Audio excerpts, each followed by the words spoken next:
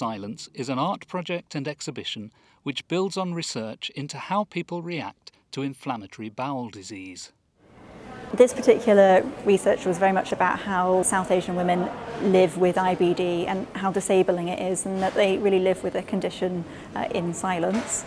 Um, and it was very clear that there was a lot of perceived stigma about IBD amongst families and their wider communities. And in order to change stigma, we really need to share this and get people to change their opinion and affect culture. Now we know the rates of IBD are increasing in South Asian groups.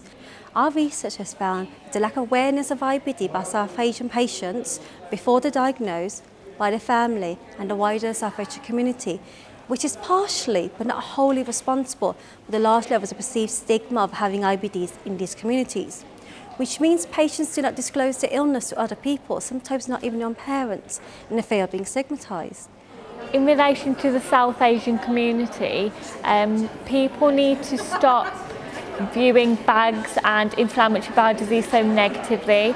It's a bag, it's not disgusting in any way, it's just a different way of going to the toilet. we found that there are difficulties regarding marriage and parenthood and a lot of pressures to get married. But it's complicated because those patients are no longer considered marriage material, particularly if the patient has a stoma, and that can have devastating consequences across the different generations. You're trying to overcome a condition yourself, and then people from the community are throwing these comments at you. It's quite heartbreaking. Um, so we'd just like to say, be a bit more mindful. You never know what anyone's going through, really. The role of food, particularly spicy food, cannot be underestimated patients often believe spicy food is responsible for some of the symptoms, which means that they avoid eating spicy food, which means they also have to avoid attending important family and social functions because they will have to eat and they can't, and that can be difficult or problematic for them. People used to come up to me with homemade remedies, but if you try to say to them, actually there's no cure for inflammatory bowel disease, they don't kind of, they don't want to be wrong So I learned over the years to just not challenge them and just accept the homemade remedy and they'd be like, have you tried it? And I'm like, yeah, I've tried it. When they just chucked it in the bin. It just saved a lot more arguments, really. This and many other factors meant that all our participants experienced significant psychological distress. So our study recommended there was a need to, one, raise awareness of IBD in South Asian communities, and two, to help destigmatise the condition within those communities. To try to tackle these problems, the researchers turned to Wolverhampton's School of Art. We managed to get some funding from the Arts Council for the project because um, certainly within the School of Art we want to pay artists to do this kind of work. It is valuable so we, we pitched to the Arts Council and they agreed to fund it. Um, and then we went out to an open call to artists. We ran an information evening at the School of Art and invited anybody interested in the project to come along. You know, I think the School of Art has a long tradition of uh, socially engaged practice and I think actually we got a really big range of um, artists responding to it so we were able to pick somebody working with fashion, sculpture, animation and live poetry and photography. So I presented to the artists when um, they first put out the call, so there was a huge amount of interest because I was worried that nobody would really be wanting to do it because it's, it's quite unusual. Um, but there was loads of interest and, and some patients in the audience I didn't even know uh, had artistic hobbies on the side, so that was really interesting. Um, so I presented to them about what the disease was like and how difficult it could be to live with and gave them a real medical perspective um, and tried to convey the emotional perspective, but we used our, the research that we'd done and the transcripts from the interviews we'd had with women um, to allow them to sort of feel the, the patient side and then bring the two together.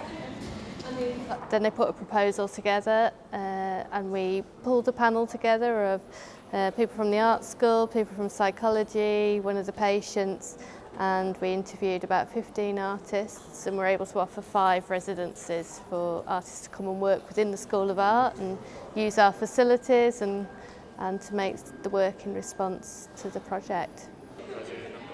I created three saris. They're printed with H&E scans from the inside of the stomach of sufferers of ulcerative colitis. Each sari represents different stages of the disease. It's my drawing, but my drawing was based upon a scan, a H&E scan of a sufferer of ulcerative colitis. So um, this one behind you is a sufferer who's very inflamed. Their stomach's very inflamed. So um, that was scanned, um, their, their stomach was scanned, um, and then med med medical doctors add um, ink to the stain, and that brings out the disease. Um, I then took that, drew it, made it into my own drawing, um, and then this was repeatedly printed onto a sari. These colours that are so vivid, these patterns that are from ulcers in a stomach, actually do make a beautiful form. So it was printing them on a beautiful garment for these girls that could flaunt their disease and not hide it. I'm a sufferer of ulcerative colitis myself and so it meant a lot for me to be involved but to also look at the contrast of the South Asian community treat the disease. Sari is a garment worn by South Asian women. Um, it's a very proud garment, it's for special occasions.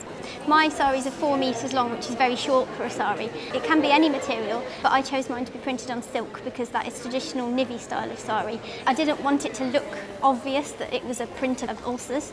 Um, I wanted it to look like a pattern, so if a girl did wear it who was a sufferer, it wouldn't be obvious. It's done in a way that actually it subverts the idea that IBD will be challenging your femininity or your womanhood. You say you can still be an Indian woman, very beautiful, and still wear sari and, and be confident. People with inflammatory bowel disease don't always speak about it. I was used as a case study for two of the art pieces, two of the videos. I think they definitely portray my experience to a T. Um, I think it's come across in a really like um, animated way, which is good for me to see because obviously I've been through it, but to see like a picture and a film that goes alongside it just adds a lot more meaning to it. In the bed next to me, and she stops and says, Are you Palbinder? So I said yes. She handed me the flowers and starts crying. Then I said, What are they for? I just really, really want to thank you. You saved my daughter's life. You're my family superhero. You helped my daughter so much. I hold my hands up. We are uneducated. We came from Pakistan. We had no idea how poorly she is. I feel terrible not to be the mum she wanted. If you didn't pump her full of positivity, and push her to go for surgery. I don't think I'd have my daughter now. I said no. It's the surgeon you want to thank. You were there for her when she needed you. It was really moving. This is something that I'm quite passionate about art, especially animation, is such a great platform for social issues. A lot of people share the same experiences, it's just that we don't know how to talk about it. So I think art's really important. Me and Alicia, we sat down for, for about an hour or something in a cafe and I was like just asking her questions and she was telling me about all different aspects of like how it affected her and you know how she feels about it then and now. I can see how she's feeling almost, like I can visualize the emotions. In my film, the stoma, which could be perceived quite negatively, it's been turned into a rose because that's how Alicia saw it. She saw it, she thought, oh, it looks like a rosebud. And that I think is such a great thing to be able to do, to see something that might be traumatic and see the beauty in it. Uh, it's a 2D animation. Um, it was done on a software package called TV Paint. And so basically, every little movement I would have to draw and redraw and redraw. So I think about, I think there's like 2,000 drawings in this for just a minute and a half. But um, I like animation as a medium because of its, well, it's limitless basically. You, anything you can imagine, if you can draw it, you can create it, so, which is really great for like talking about conditions or mental health or anything that's really difficult to communicate verbally, you can communicate visually. It's a really great way to open up a discussion and share emotional states. The animation had the biggest impact on me and it actually made me feel quite emotional and a bit tearful. So that, that's certainly the one that's touched me the most. But I also very much like the, uh, the, the, desk drawer where the juxtaposition between the medical appointments and the, the patient letters and the drugs. That's actually very beautiful as well. So I really like what the artists have uh, achieved here. They've, I think, really represented women, and particularly the South Asian women, which is obviously what we were aiming for. Matt Jones is actually one of our master's students at the School of Art, so it was really, really pleased to get some um, applications from our own students. And I think what all the artists have picked up on is this tension between, uh, I think, the kind of formal medical side of the that they have to cope with and how that affects their kind of personal kind of sense of self and in particular femininity or womanhood in some way. Um, and I think this piece of work is really interesting because it kind of lays that out. I think the dressing table is a really private space for most women uh, where you do have all your potions and bottles and the things that you, you use to dress up with.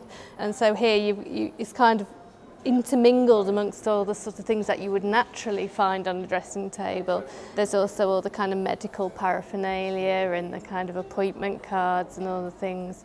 So you start to see this sort of clash of the decorative bangle or the medical tag, if you like, and how these both form part of somebody's life or identity.